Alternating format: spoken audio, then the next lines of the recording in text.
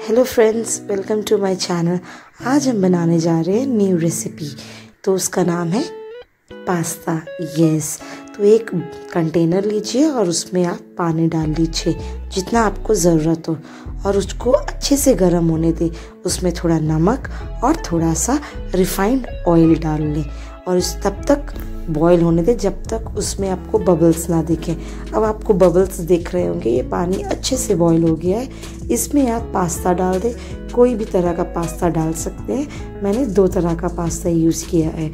और उसके बाद इसको आप ढक दें। ढकने के बाद इसको आप देखोगे कि ये अच्छे से बॉयल हो जाएगा।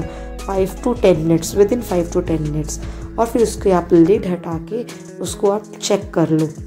जैसे कि मैंने चेक किया है। आ, मेरे स्पून में तो मेरे फोक में तो आ नहीं रहा था बट मैंने ट्राई किया और उसके बाद वो पकड़ा गया। हाँ हाँ। और उसके बाद मैंने टच किया वो हो चुका था।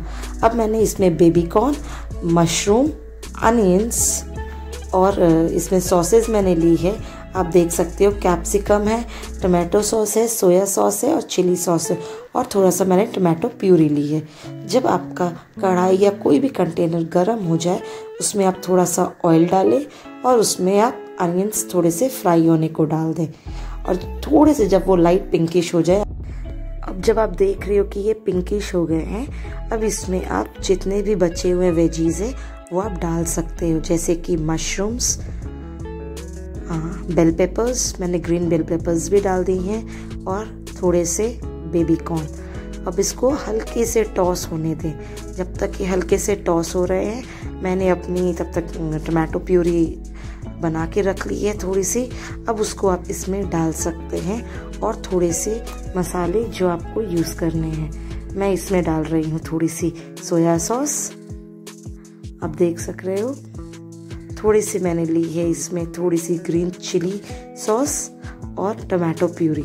टमाटो प्यूरी आपका टेस्ट और अच्छा कर देगी, आपका फ्लेवर जो पास्ता में और अच्छा बढ़ जाएगा। और इसमें थोड़ा सा टमाटो सॉस डाल दीजिए और थोड़ा सा नमक, क्योंकि हमने पास्ता में भी नमक थोड़ा सा यूज़ किया था तो उससे आपका पास्ता फ्लेवरफुल रहेगा।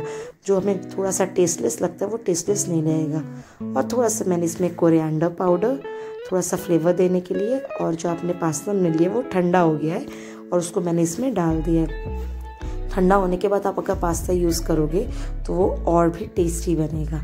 आप देख सकते हो पास्ता, और इसमें मैंने अब थोड़ी सी चीज़ डाल दी है बिकॉज़ चीज़ के साथ इसका फ्लेवर और भी इन्हांस हो जाएगा।